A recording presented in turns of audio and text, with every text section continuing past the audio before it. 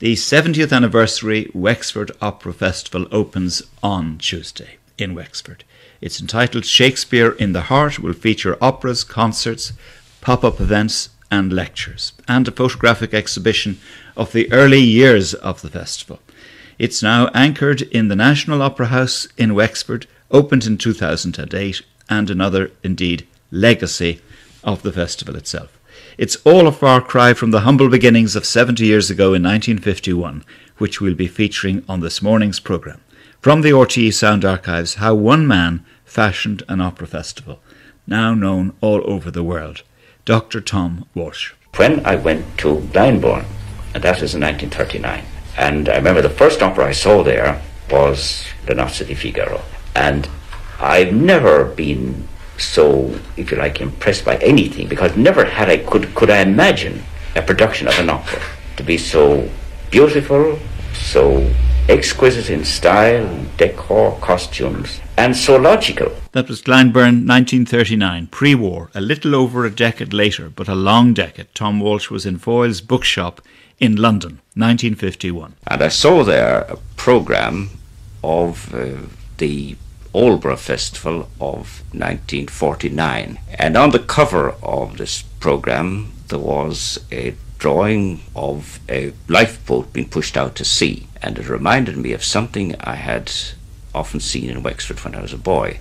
But however, on that particular evening, I was going down to spend the night with Compton Mackenzie, who then lived in Denchworth. And I got the idea that we could have a little festival in Wexford. And I asked him would he help? And he agreed, and he did, and that is how the Wexford Festival was born. Um, I'm not going to keep you any longer now from uh, Mr. Compton Mackenzie, and once more I wish to congratulate everyone concerned for a splendid performance. Erskine Childers, later fourth President of Ireland, at the first Wexford Festival. Well, it's been a really grand evening. I think that, first of all, we must. The, the man who's. Um, here he is, look at him. Sir Compton Mackenzie at the opening of the Wexford Opera Festival in 1951, paying his tribute to Tom Walsh. And here in another archive interview from that year is Tom Walsh and talking about the beginnings of the Wexford Opera Festival. Last November, we tried to form an opera study circle here. And my good friend, Mr. Compton Mackenzie, came and gave us an inaugural address. The Opera Circle has gone on quite well since, but it is really just a means to an artistic end. For what we have in mind is the formation of a musical festival, which we hope, it's very much in the air at the moment, but we hope that by next, say, October or November, that for some four or five days we will have musical festival running here in the town.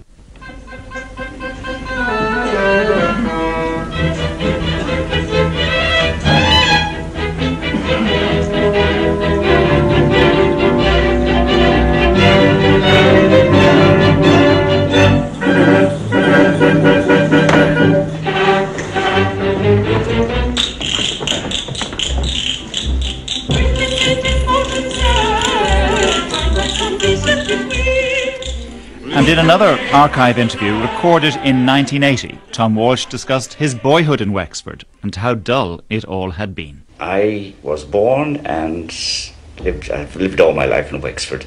And Wexford, when I was very young, was a very dull country town. And one of the reasons why I loved going to the theatre, that there was light there.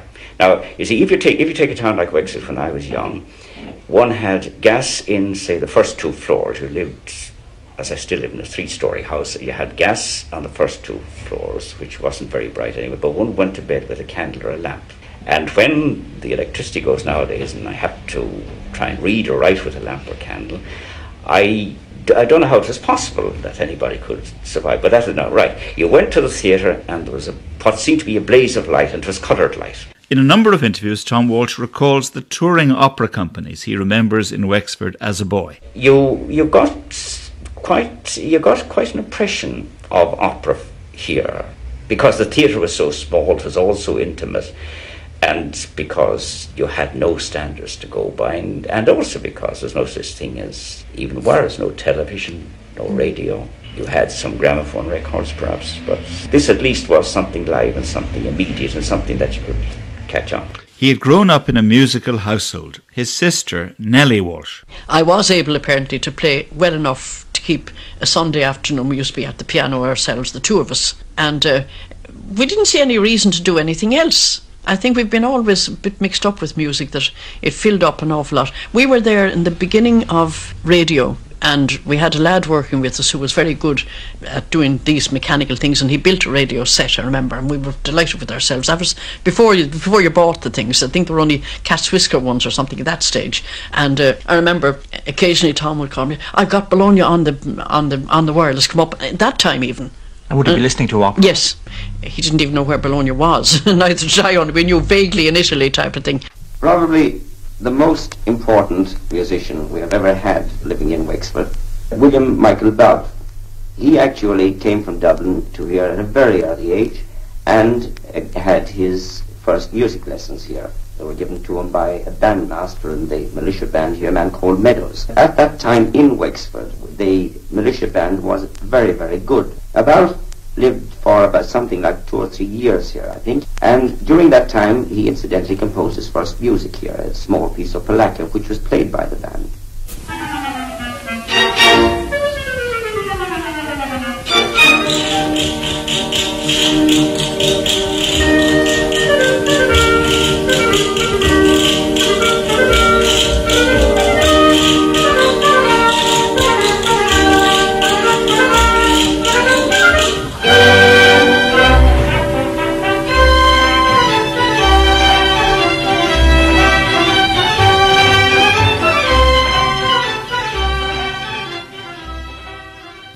Theatre Royal in Wexford, which actually was built in 1832, was a rather small building, but I suppose it was quite adequate for what would have been a small town back in, in, in, that time. But it had its limitations, as the piano tuner George Redmond well knew. And I remember on one occasion being with Dr. Walsh, he talked about uh, his interest in developing opera within the area and not many people, of course, thought at the time that he would ever see it brought to fruition. Aidan Folan, then a young sound engineer with Radio Éireann, recalled his first impressions. Radio Éireann had been inveigled into broadcasting the first Wexford Festival. Then, having arrived in Wexford and left my bag at the hotel, I went immediately to see the venue for the Wexford Festival Opera.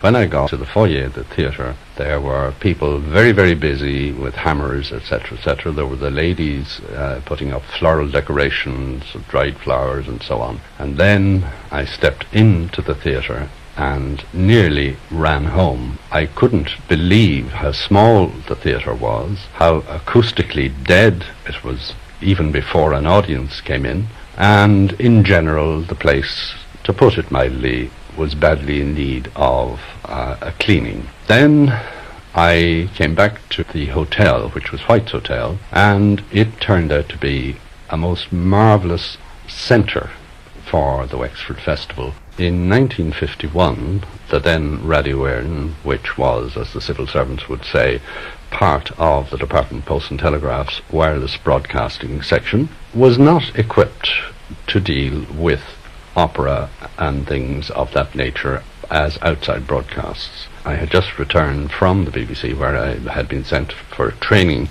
I joined in September of 51 and the Wexford Festival dropped into my lap some six weeks later. The equipment in use nowadays would be regarded as very, very antique and therefore made it extremely difficult to separate the orchestral accompaniments from the performance on stage. We eventually ended up in a corner under the stage in Stygian darkness. Another visitor to Wexford for the first festival was Frank Murphy, horn player with the Radio and Light Orchestra and emissary of the then Director of Music, Fachtna Ó hAnnracháin. It was great excitement for months beforehand. Fachtna Ó hAnnracháin instructed me to go down and find out what it was all about. So I went down the first time and met Dr. Walsh and Eugene McCarthy to discuss Radio Éireann's involvement in the thing. So I met them many times after that until we came to the actual shows itself and the two weeks. We spent two weeks there and we loved the place. We really loved the place. And uh, I got the job then. I was playing horn. I was also doing manager and librarian. The first thing is I had to order the music, and we got the music from Goodwin and Tabbs in London. And it appeared to me that the whole town was involved in Wexford in those days. They would do the carpentry work. It was a desolate place. It was a shabby theatre. Uh, there was no room for the orchestra, so we took out seats to make a pit. And the, the I think it was one of the uh, chorus actually was doing the carpentry work. Uh, Nick Nick Rossiter, I think. And we put a curtain across, and that became an orchestral pit. Frank Murphy remembering Wexford from the documentary by Marcus MacDonald. The ubiquitous Dr. Tom Walsh was, of course, the driving force behind everything. Aidan Folan again. He seemed to be in several places at once, and I will never forget his reaction on the very first morning, the first orchestral rehearsal, where it was found that the then very sparse in numbers light orchestra could not fit into the space that was allocated for the uh, orchestral pit. He nearly had a seizure, understandably, because he probably was already thinking that he was well on his way to bankruptcy. Eventually, he saw the point that he couldn't possibly have the opera without the orchestra, so consequently the seats had to go. Frank Murphy remembers other challenges. Of course, the orchestra was much too loud in that situation for the opera. So afterwards I understood, uh, which they did, I was there for it, they lowered the pit. And of course the pit was a bit too low because Dermot O'Hara was a very small man. So we had to raise him on a box so he could see the stage. But anyway, everything went very well. And the opening night, I remember, and, and the rehearsals, they all, the whole town was part of this. There wasn't just anyone, but the whole town, the queues to get into dress rehearsals.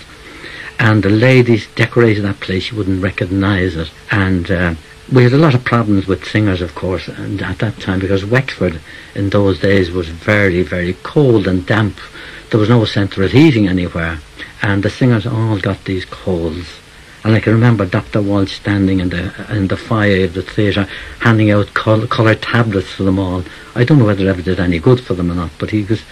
It was a great thing to see him handing out all these multicoloured tablets. Uh, so that was the show. The first night of the show went very well, but uh, it was a great success. And uh, the orchestra was too loud. We had to admit that. Then there was other things happened. Uh, the floor of the stalls wasn't an ideal place because people were looking over the railings at us. Of course, the people of Wexford were our great friends, and they really took us in tow and looked after us. They took us to their heart. We were great friends with all the people of Wexford. Another great character was our conductor, Dermot O'Hara.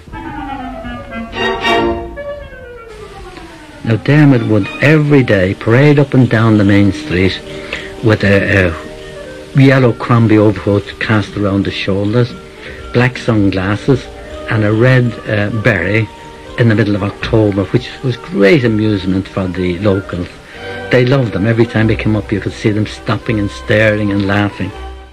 I went down and had a look at the theatre, which had been a theatre with, with boxes, and then it was transferred, changed to a cinema. Norris Davidson was also involved. Anyhow, it seemed to me very dark and very damp and impossible. And of course, it looked so much smaller than it does. It doesn't look terribly big now, but very much smaller. We had to work below the stage, I and Aidan Folan, which was rather horrifying because um, we could not only hear through a thin partition, we could hear the orchestra playing, but through equally thin stage floor, we could hear them singing and walking about over our heads.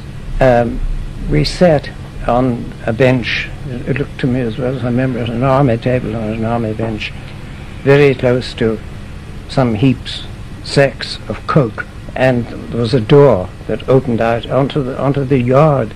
It was a wonder how um, it was put on.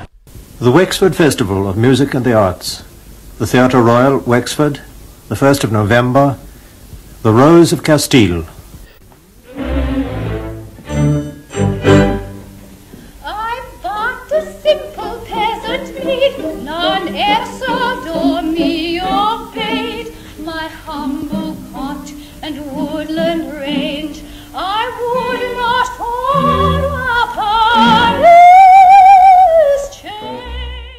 Quite remarkable thing, I remember. I was going home one night to White's Hotel. I met Dr. Walsh and the manager of White's coming out, and them said, Do you know what we've been talking about? So I said, Well, I hope it's about the future of this. And they said, It is.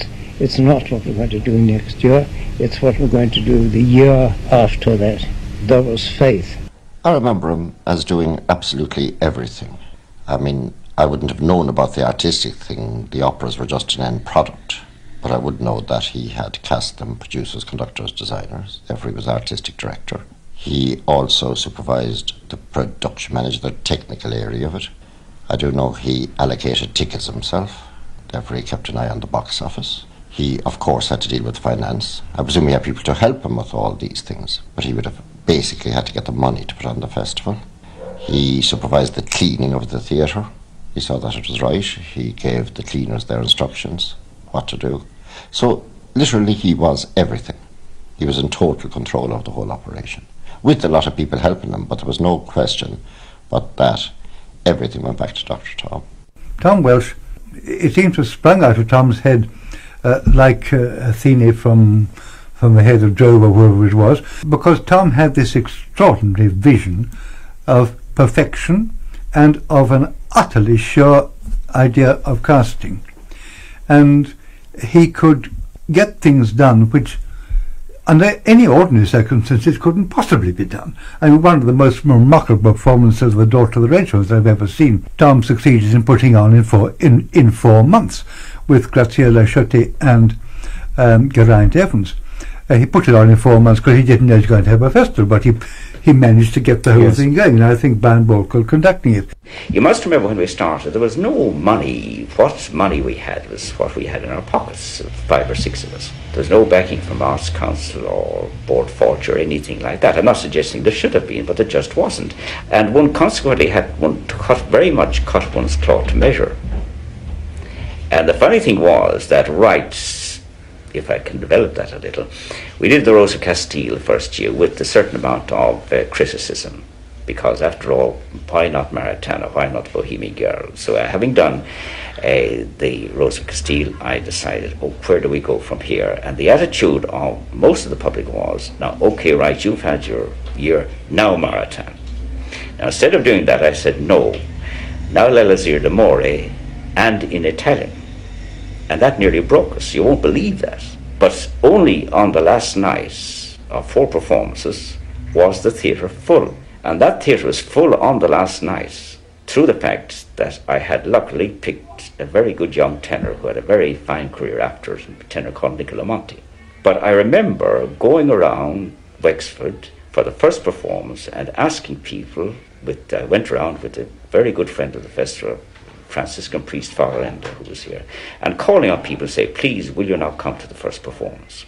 And I must say, fair enough, they did. We had a good first performance. But there were two other performances between, and there were plenty of vacant seats. And our top prize that year was one pound, and you could get all the seats you wanted for 10 shillings. And finally, I tell you a very good story. On the very last night, I came down to the theatre. First of all, it, the theatre was absolutely booked out. And I came down, there was a queue down as far as Rowe Street from the theatre, people trying to get in. How they were got in, I don't know, and I probably shouldn't talk about it now with fire regulations and the like. But anyway, most were got in. And the last two up to the box office were two men who said they wanted. I said, look, you can't possibly get in. I said, we've come all the way from Clonmel. Now, Clonmel was a very long journey to make to Wexford in those days. Nobody was coming from America or anything, but they did come from Clonmel. I said, right, gentlemen, I said, you'll hear, but you won't see.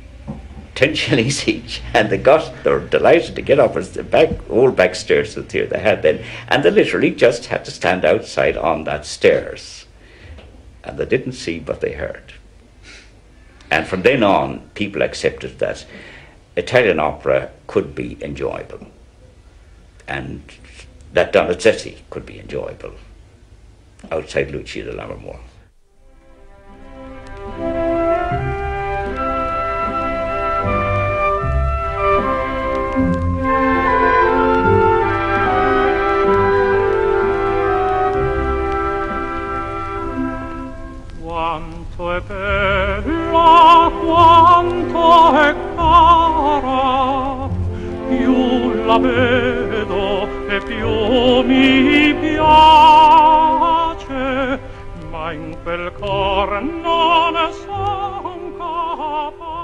Ethna Scallon worked as his assistant from 1961. She found him a meticulous and scholarly worker.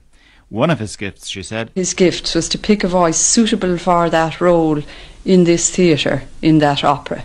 Not just a good voice. And these were notes kept as a result of travelling to various places. Yes, he went around. Uh, mainly, he had agents who he had a lot of Italian singers at the, the time that he was probably at his height around the six, early 60s, late 50s. And he relied quite a lot on his agents to whom he would write or phone and say, I want singers for the following type of roles, and I'd like to have them for me on such a date, and they would have their singers there. He did that more than going around to operas, although he did that as well. He actually auditioned individuals and had an enormous facility for remembering exactly what type of voice that was. But he would keep his little handwritten notes in his book, which travelled with him all the time. You acted as interpreter. He didn't speak any other language than No, English. he didn't. He, in spite of being such a musical person, he didn't actually have a good ear for languages, and uh, he depended on other people. He conveyed his message fairly well, all right, but uh, even on the phone, he would be on one side of me while I phoned Milan, and he would be saying, uh, "Ask her how much she expects me to pay." And somebody like Ada Finzi at the other end would say, "Oh, he couldn't come under so many hundred per performance." And I would say this to Tom, and the chin would come out, and Tom would say, Ask her, does she think we're talking about La Scala? Tell her that's rubbish. The most we can possibly offer is such a figure. And I would go back in Italian and pass this on, and the whole thing would go to and fro between them. And it would come down to the fact that they knew, even at that time, that Wexford was a shop window, and the singers would come here to be spotted, even though they weren't paid a very high salary. This morning's programme was to mark the 70th anniversary of the Wexford Opera Festival. Karina Daly's book, The History of Wexford Festival Opera 1951 to 2021, is published by Four Courts Press, and the photographic exhibition about the early festival is on at the Wexford Library. This morning, we begin with our conclusion to last week's programme, in which we explored the RTE sound archives for the extraordinary beginnings of the Wexford Opera Festival. It owed its beginnings and its early flourishing to one man, a medical doctor and an anaesthetist, Dr. Tom Walsh. And as we'll hear this morning, it not only embedded the Opera Festival in Wexford, but inspired other festivals across the length and breadth of Ireland. But what we have in mind is that for some four or five days we will have a musical festival running here in the town. Charles Acton, long-time music critic of the Irish Times, believed the Wexford Festival's success and the fact that such a local initiative could flourish had an impact well beyond Wexford. One of the things that was quite remarkable in the 1950s was that Wexford had been a sleepy town in a sleepy county.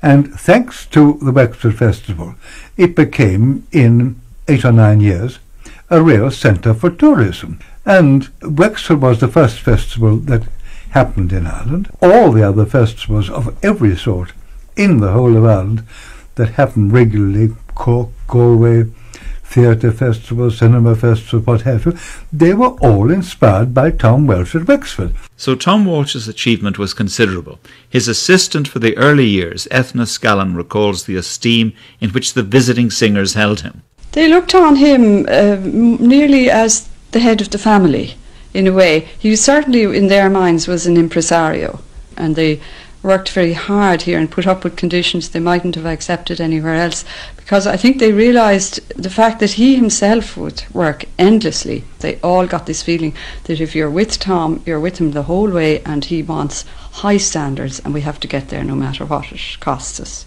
Preferably, it should cost very little. Budgets were tight. Wexford Opera's success was built on a shoestring. Jim Golden, honorary chairman in the early years. The backstage workers were generally um, collected up in early September. Most of the workers were local and were voluntary. A lot of the sets at that stage, which were mostly flats, were just made locally, again at no cost. I'd imagine from bits of timber picked up here and there and every place else on canvas. Backstage there would have been one stage manager and one lighting person, and the rest of the people were all voluntary workers whom he controlled, to whom he was very kind, but from whom he expected complete dedication, punctuality, the job done well. It was just as if you were in a highly paid job and you had to give 100% commitment to what he wanted. And even if Wexford flourished on voluntary workers, this did not mean that the whole presentation of the event, with so many visitors coming to Wexford, did not bring jobs to the town and the region. Charles Acton again. You, you started with Wexford. Tom Welsh never got a penny out of the Wexford Festival, naturally. Um, nobody got a penny out of the Wexford Festival in Wexford. And, but it, it worked. So, with so many unpaid workers involved, it still brought money into Wexford, and that money trickled down. Everybody gained. It lengthened the summer season. Frank Murphy negotiated the costs for RTE. I had to also go down and book guest houses for all the orchestra. And I remember there's some famous ones. There was the Fight, and there was also uh, Mrs. Redmond's in George's Street, where most of the brass always stayed. Some of us stayed in the Talbot Hotel, where we got a full day's board for seven and sixpence. Well, keen pricing and hard bargaining there on behalf of the then Radio and Light Orchestra. Wexford Opera engendered a comradeship, a cooperative spirit. One of those very much involved was Eugene McCarthy, then manager of White's Hotel. Aidan Folan, Radio Éireann engineer, remembered him. Uh, Eugene McCarthy, who was the maître d', as the Americans would call it, was a marvellous, quiet, efficient man, very heavily involved with Tom Walsh and Dr. French in the organisation of the festival. But what struck me most of all, and my happiest memories of the Wexford Festival, was in fact the camaraderie that existed between the visiting principals of the opera, the conductor, the producer, designer, and so on, and various members of the orchestra who stayed in the hotel. Meals were a marvellous occasion. There was no setting apart of the principals of the opera at one table and somebody else at another table. There was a large table and some side tables. You just took your place at whatever point you felt you could sit down. And all of this was consistent with the general approach to putting the festival together. Jim Golden again. Well, doing the props then meant that you were handed a long list of objects and things to be got, and you just had to produce them. There was absolutely no budget for them, so you begged, you borrowed, um, you went to somebody who could do things well with their hands, and they made them for you. Um, I remember one time in Don Quixote they needed um, mandolins, four mandolins, and I got three, and I had difficulty getting a fourth one. Somebody told me about a certain man who had a mandolin. So I went to him, but he had pawned the mandolin. So I redeemed it from the pawn office for 10 shillings. And when the festival was over, I said to Seamus Dwyer, the then production manager, and I said, I must bring back this mandolin to the man. And he said, You will not, you'll pawn it again for 10 shillings and give him back the ticket. But that was the type of, you know, stringent financial control. Good business sense as A very, very good business sense. Did this come from Dr. Tom as well? It came from Dr. Tom, yes. That oh, there was no waste. I mean, there couldn't be waste. I mean, he was doing it on terribly tight budgets, and ticket prices were not enormous. And um, the finances then, as there always, must have been a headache to him. And there were other headaches too. Dr. Tom Walsh had been director of the festival for its first 16 years. But as is documented in Karina Daly's new book, The History of Wexford Opera Festival 1951 to 2021, as the festival's success grew, relations between himself and the Executive Council had become complicated. And some argued for a more professional approach. 1966 was his last year as director. But looking back at his achievement, Rodney Milnes, editor of Opera magazine, offered this evaluation. We hadn't had the great Donizetti revival of the 60s and 70s.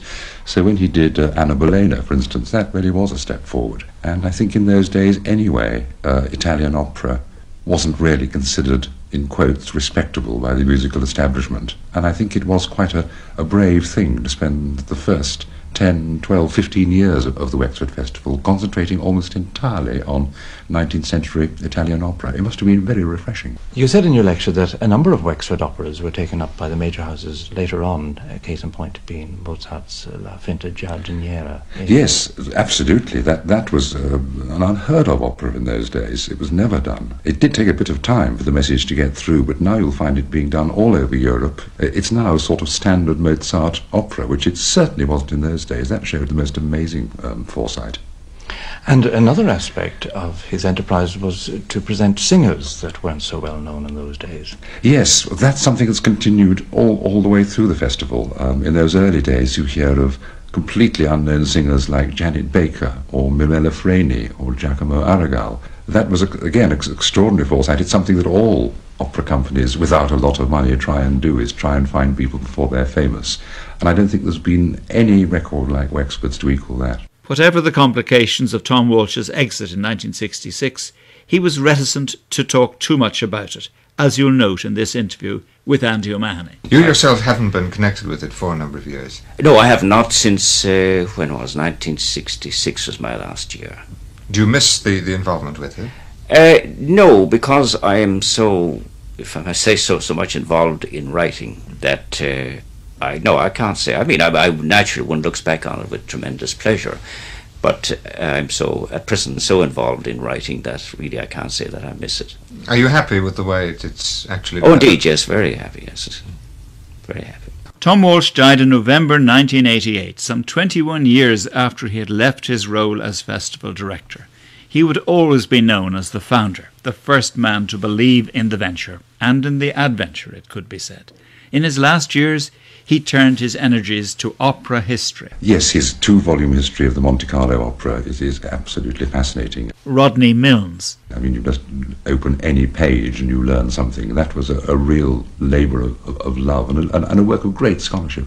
He was also author of no fewer than three books on opera in Dublin in the 18th and 19th centuries, still regarded as the definitive works. There's always a sense in Wexford that people are not there to be seen, or not that much anyway. Writer Colm Tóibín, who as a 16 year old schoolboy had won second prize in a school's essay competition, Wexford Festival, Vanity or Prestige, was now reporting on the festival for the Gay Byrne Show. Certainly, they're much more to actually hear really good singing. And he emphasised the growth of fringe events in Wexford during Festival Week. Now, if you want to hear good singing in Wexford, in my view, you can go along to the opera scenes in the morning, quite, in White's Hotel. They, they will mix bits of Benjamin Britten with Rigoletto and Mozart, and the previous morning, suddenly the last Rose of Summer was sung. And the popularity of the festival season to the town, even to some who did not have much interest in opera. Um, it is a thing for the town as regards the extensions, for example. The pubs are open until one in the morning. Last minute preparations for tonight's opening of the completely refurbished Theatre Royal. Another monument. Damien Tiernan, RTE News 2008, at the opening of a replacement for the old Theatre Royal, Wexford. Now officially known as the Wexford Opera House. The government gave 26 million euros, 7 million was raised locally. Seating area has increased 94%. The seats themselves are a third bigger, and there's 3,500 square metres of American black walnut, sourced from managed Canadian forests, and specially chosen for the better acoustics. Locals think it's all fabulous. When we came in and seen it for the first time, it's just amazing. It's the last word. It's a great for the, the founders of the Opera Festival, and then we see Dr. Tom Walsh, so he, he must be very proud looking down at us. Not only is the Wexford Opera House itself extremely impressive, the views here from the top of the building are amazing. On a clear day, you'll be able to see Mount Leinster 38 kilometres away, or Tuskar Rock Lighthouse in the other direction 26 kilometres away. And tonight's opening will be marked by the first Late Late Show of the new season. I mean, we're delighted as well that what RTE have decided to do is very much in keeping with the building, very much a, a fantastic variety show. And I think in a way it exemplifies the fact that the building, post the Opera Festival this year, it'll be open 12 months a year for all sorts of performers, not just for opera, but for theatre, for, for dance, for stand-up comedy, etc. Damien Tiernan, RTE News, Wexford. Far cry from where it all began in the Theatre Royal in 1951. Finally, Ray Lynott's interview with Rodney Milnes, editor of Opera magazine. In your experience in the opera world, is there anybody that you've met quite like him? Uh, this anaesthetist, uh, opera lover? There was no one like Dr. Tom, absolutely not. I mean, the, the vision was extraordinary. I can't imagine, even in a small town like Wexford, anyone else seeing the potential, seeing the unique charm of the theatre itself and of the town, and the sort of spell it would cast over people who like opera all over the world. I mean, it is a, a very international audience nowadays. Um, he thought of it, he built it up. It's, it's the most bewildering achievement. English critic Rodney Milnes completing that feature on the late Tom Walsh, founder of the Wexford Opera Festival, which is currently celebrating its 70th anniversary.